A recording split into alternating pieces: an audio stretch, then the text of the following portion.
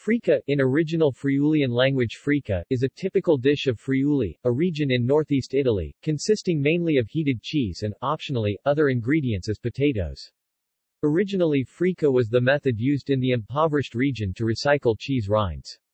It consists mainly of two versions, one soft and thick, which is usually served in slices, one thin and crunchy, which can be used either as a garnish or as an appetizer.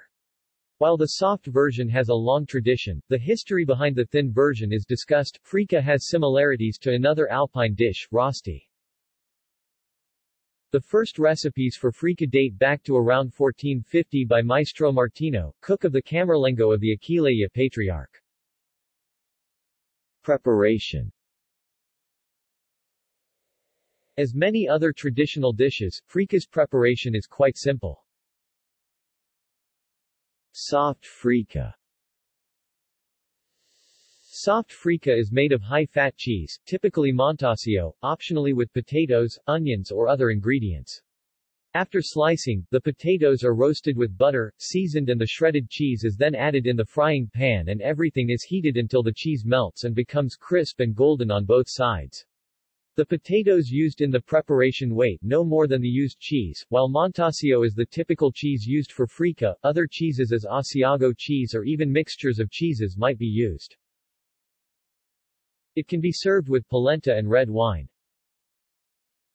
Thin frico